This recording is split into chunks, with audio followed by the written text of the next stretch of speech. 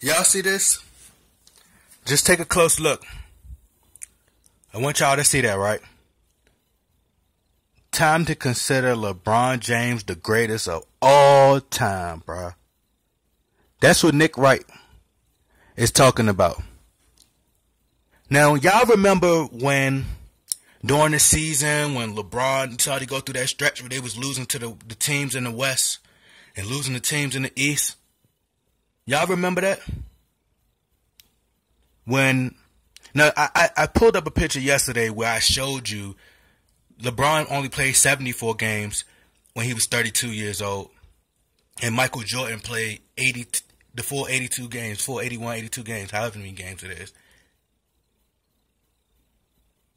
So, y'all remember when they were going through that, that those losses, and Nick Wright was nowhere to be found. Nowhere to be found. Now, this is what they do. They constantly sell you this story and brainwash you. Look at this. It got 3 million views. And this is what they do. They constantly brainwash people. On YouTube, let's how many views it got. It got 204,000. Masses of people who could, you are influencing their mind. And let's, let's read the title. Let's read what the title says. It says, someone needs to come to me.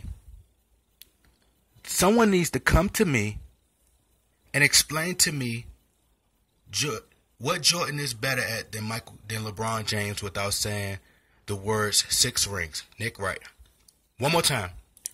Someone needs to come to me and explain to me what Jordan is better at than LeBron James without saying the word six rings. Nick Wright. This is what Nick Wright said. Now, he wants somebody to come to him that's emotional and don't know what they're talking about. That's what he would like. Right? That's that's what he would like. So let's go to this picture I have.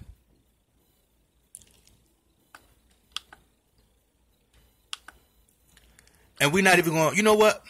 We're not even going to talk about rings. Since Nick Wright doesn't want to talk about rings, shout out to to all them on ESPN First Take. Like these are shows that I used to watch. I can't even watch it no more, bro, because they talk about the same thing and sell the same story every single day. All right, this is this all it comes down to. Now you can go on your Wikipedia page and see these for yourselves. I don't let nobody brainwash me. I don't go get the oh he shot percentage better. He was thirty eight percent with three pointers than Michael Jordan and blah blah blah. I'm not gonna go through all that. Let's look defense. Let's look at the defense. Michael Jordan was a nine-time All-Defensive First Team player. Nine-time All-Defensive First Team. LeBron James was a five-time All-Defensive First Team player. This is this is common sense. Like you could just go to Wikipedia and look for yourself. But I, I talk to so many people now, and this how much influence that it has. That when you talk to different people, the first thing that they bring up this, it's like you're talking to Colin Cowherd. It's like you walking around talking to a bunch of Max Kellermans, a bunch of Shannon Sharpes nowadays, without even going to find the facts for themselves. Was LeBron James a better scorer than Michael Jordan? It says here that Michael Jordan was a 10 time scoring champion. How many? 10 time scoring champion. LeBron James is a one time scoring champion. Michael Jordan never even was on a second time uh, all time uh, all defense second team. NBA single season leader, fifth on the list. LeBron is 32nd. Michael Jordan is fifth. This is going by the total of the highest average number. So Michael Jordan averaged 37 points per game one season. 37 points per game one season. Kobe is eighth on the list. Kobe the highest Kobe average was 35 points per game one season. What's the highest LeBron ever averaged? He's 32nd on the list. The highest he ever averaged in his career was 31 points. These are facts. You can go look for yourself. Look at how look at the 40 point games that Kobe had. It's not even come on now. Look, look just look at this. What are we comparing? And, and then you have people say, well, well, this he's still planning. he still got time to go. Bro, then compare it then. You don't you gotta compare it then. You can't be talking about well he's he's the greatest already, he's the greatest and all that. You gotta let him let him prove himself.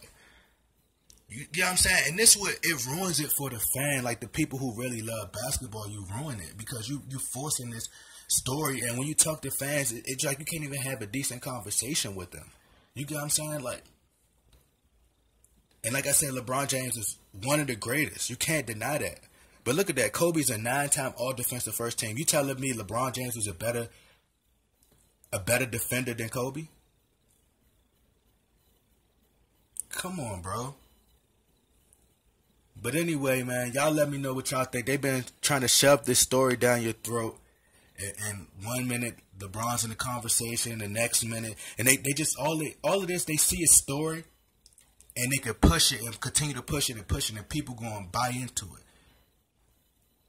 And they, they push that story to get ratings and stuff like that.